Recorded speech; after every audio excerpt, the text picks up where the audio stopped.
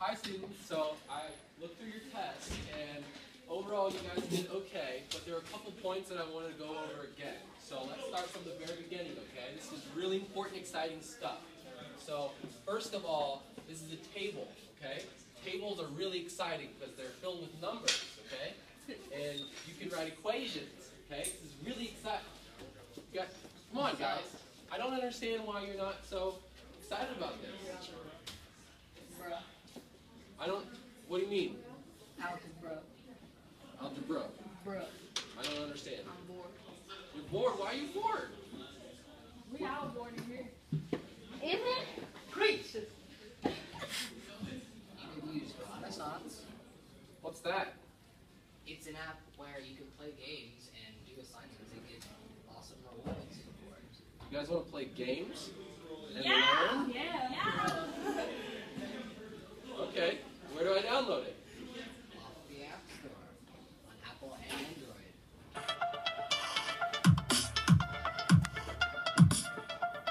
So, Madison, I understood that you and your group for the past couple months been have been doing the app design project, Yeah. correct?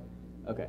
So, what was the main problem that you guys were trying to solve exactly? Um, our main problem that we were trying to solve was definitely the finding the fun in education because students now really just don't have that and I mean their lessons are just boring, they're busy work, they just they don't find fun in anything that they do. I got you. So, how exactly does your app do that?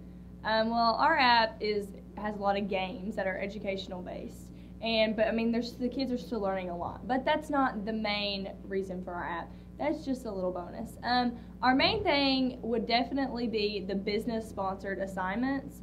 Uh, so if you get a good score on your game or get really good grades on your assignments that you turn in through Connaissance, um, you can get a really good score and get really high rewards. Okay.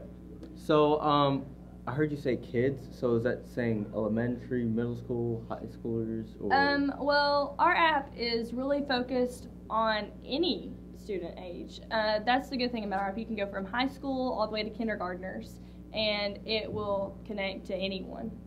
So, when you say connect to anyone, I'm thinking, is this for classroom purposes? Yeah, it is definitely for or classroom. Outside classroom purposes. Well, I mean, you can use it inside and outside the classroom. Obviously, it's not for adults because I mean, it's for definitely grade school students. right. But um, you can use this inside or outside the classroom, considering it is an app.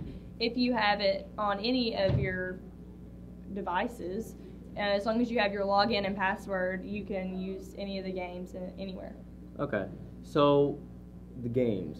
I'm starting to think like beat a level. Will there be any rewards by any chance? And if so, what will they be? Uh, there are Exactly. definitely rewards. Uh, that's actually my favorite part because who doesn't love a free month of Netflix? I know tons of teenagers, especially in my school, really like to be on Netflix or any other game or anything really. So you can get rewards for, say, gift cards for restaurants or any place really, as long as you know you get a good score on your game because the rewards do get higher the higher levels you get. Right. Um, and I mean, who wouldn't want any of that?